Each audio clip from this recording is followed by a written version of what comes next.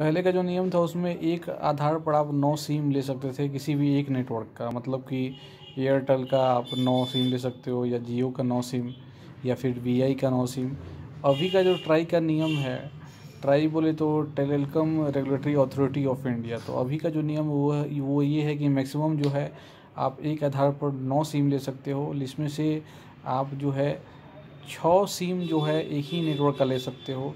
और बाकी का जो तीन सिम है, वो आप किसी दूसरे नेटवर्क का आपको वहाँ पर लेना पड़ता है। मतलब एक ही नेटवर्क का नौ सिम अब आप नहीं ले सकते हो, ठीक है? अगर आप छः सिम जियो का लेते हो तो बाकी के जो तीन सिम है, आपको जो है ना एयरटेल का या फिर जियो का लेना पड़ेगा, समझें? अभी जो ये नियम आपको यहाँ पर चल रहा है।